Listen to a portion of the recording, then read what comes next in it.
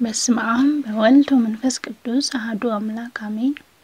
የማክሰኞ ሰይፈ ሥላሴ አንድ አምላክ በሆነ በአብ በወልድ በመንፈስ ቅዱስ ስም አምኜ በዕለተ ሰሉስ የሚጸለይ ሰይፈ ሥላሴን ይጀምራለሁ። አቤቱ በዚህች መልካሚቱ ዕለት በረከትህን አድለኝ፣ ጸሎቴን ስማ፣ ልመናዬን ተቀበል፣ ኃጢአቴንም ይቅር በለኝ። በሚበረቱብኝ ጠላቶቼ እጅ አሳልፈ አትስጠኝ።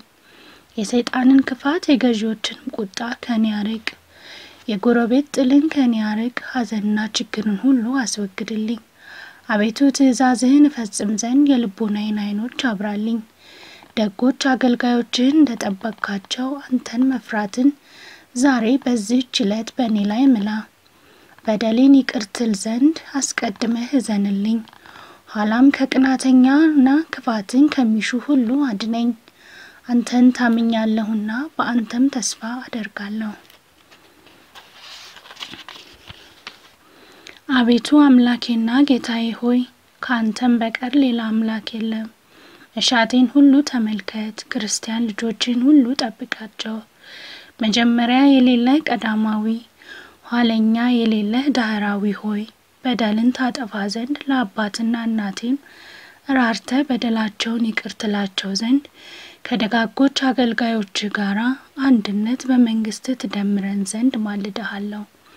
መንግስትህንና ገናንነት ኃይልና ምስጋናንም ያንተ ናትና ለዘላለሙ አሜን። በእውነት የሚጠሩህን ሁሉ የምትሰማቸው ሆይ ፊትህን ከኃጢአቴ መልስ፣ መልካሙን ነገር ሁሉ ከኔ አታርቅ። በይቅርታህና በቸርነትህ ብዛት ልመናዬን ትሰማ ዘንድ እለምንሃለሁ። እኔንና ሕዝበ ክርስቲያኑን ጠብቀኝ፣ አድነን። ለአንተም ፍጹም ምስጋናና ክብር ይገባል ለዘላለሙ አሜን። ግንባሬም በመለኮተ ስሉስ ቅዱስ አምኜ አማትባለሁ። ጀርባዬንም ለመለኮተ ስሉስ ቅዱስ አስገዛለሁ። ቀኜንም ለመለኮተ ስሉስ ቅዱስ አስገዛለሁ። ግራዬንም ለመለኮተ ስሉስ ቅዱስ አስገዛለሁ። ራሴንም ለመለኮተ ስሉስ ቅዱስ አስገዛለሁ። እግሮቼንም ለመለኮተ ስሉስ ቅዱስ አስገዛለሁ። ሰውነቴንም ሁሉ ለመለኮተ ስሉስ ቅዱስ አስገዛለሁ። መቆሚያዬንና ማረፊያዬን ለመለኮተ ስሉስ ቅዱስ አስገዛለሁ። ሰይጣንና እርኩሳን መናፍስት በዚህ ዓለም በስጋዬ በሚመጣውም ዓለም ከሞትሁ በኋላ እንዳይቀርቡኝ ጎዳናዬንና ሕይወቴን ለመለኮተ ስሉስ ቅዱስ ለአብ ለወልድ ለመንፈስ ቅዱስ አስገዛለሁ ለዘላለሙ አሜን። አንድ ሲሆን ሶስት ሶስት ሲሆን አንድ ለሆኑ አብ ወወልድ ወመንፈስ ቅዱስ እሰግዳለሁ። በአንድ ስግደትም የአካላት ሶስትነት የመለኮት አንድነት ይታወቃል።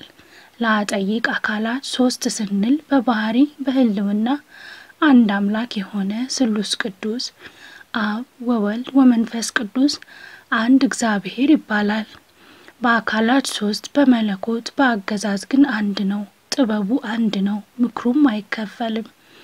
በአብ ልብነት በወልድ ቃልነት በመንፈስ ቅዱስም እስትንፋስነት ህልው ነው። ያለመለየት በአካላት ሶስት በስልጣን ህሩያን ናቸው።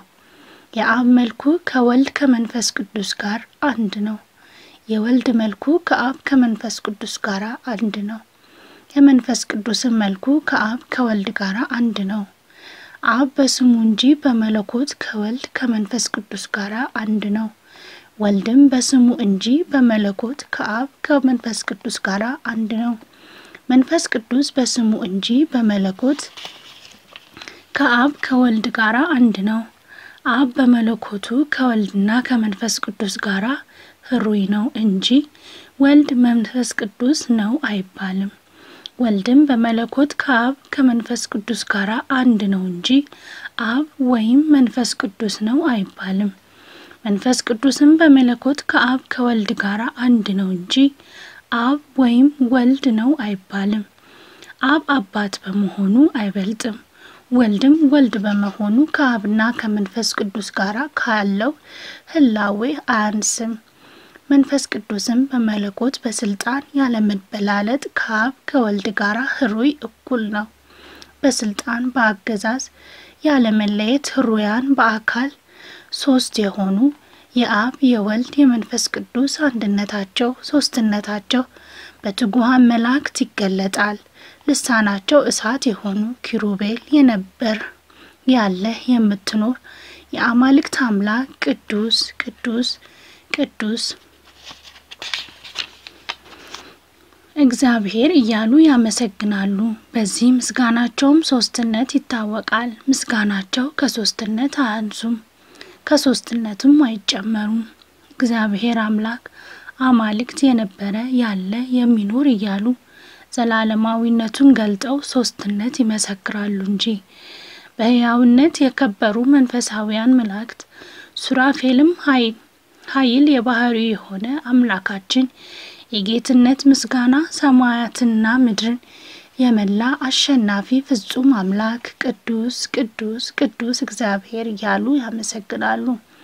በዚህ ምስጋናቸውም ሶስትነትን እንደመሰከሩ ምስጋናቸውንም ከሶስት እንዳላሳነሱ ታወቀ። ምስጋናቸውን ቅዱስ ቅዱስ ቅዱስ ብለው ለስላሴ ያቀርባሉ እንጂ እኛም እንዲህ የስላሴን አንድነት ሶስትነት እናምናለን። ለስላሴም በአንድ ቃል ምስጉን አብ ቅዱስ ነው፣ ምስጉን ወልድ ቅዱስ ነው፣ ምስጉን መንፈስ ቅዱስ ቅዱስ ነው እያልን በማመስገን ለስላሴ እንሰግዳለን፣ እናመሰግነዋለን፣ እንገዛለታለን ለዘላለሙ አሜን።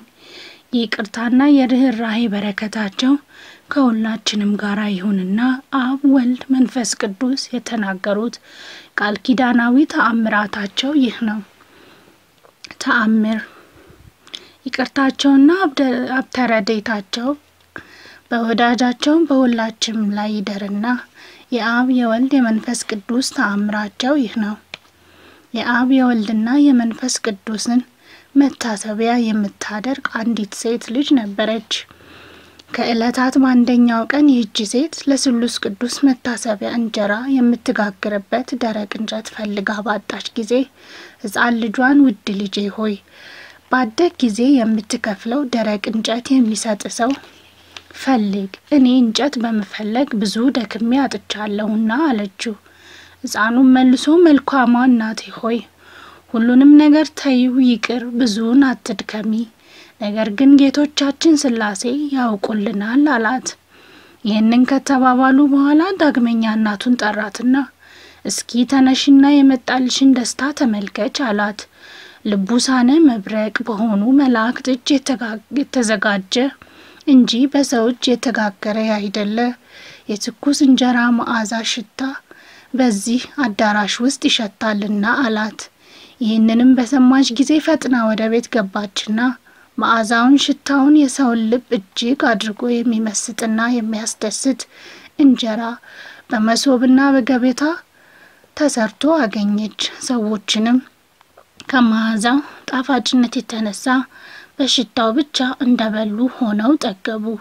በዚህም ጊዜ ዘመዶቿንና ጎረቤቶቿን ጠርታ ወዳጆቼ ሆይ በቤት ውስጥ የሆነውን ስሉስ ቅዱስ ስሉስ ቅዱስ ያደረጉትን ድንቅ ድንቅ ስራ ኑና ተመልከቱ አለቻቸው። የሀገሩም ሰዎች ለደጋጎች ወዳጆች የሆኑ እሊህ እኚህ ስሉስ ቅዱስ ያደረጉት ድንቅ ስራ ተመልክተው አደነቁ። በታላቅ ደስታም እየተደሰቱ በአንድነት ወደ አዳራሽ ገቡ።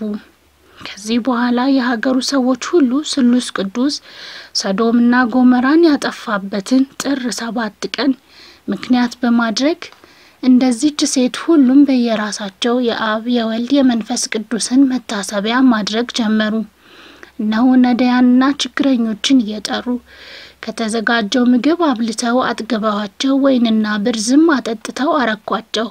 ወደ እነሱ የመጡትን ሁሉ በእርጋታ እየጋበዙ አስደሰቷቸው። በየወሩ ሁሉ የአብ የወልድ የመንፈስ ቅዱስን የበዓላቸውን መታሰቢያ የሚያደርጉ ሆኑ። ይልቁንም በጥርና በሐምሌ ሰባት ቀን ያለማጓደል በፍጹም ትጋት ይዘክሩ ጀመር። ይቅርታቸውና ሀብተ ረድኤታቸው ከወዳጃቸው ከሕዝበ ክርስቲያኑ ጋር ይሁን ለዘላለሙ አሜን።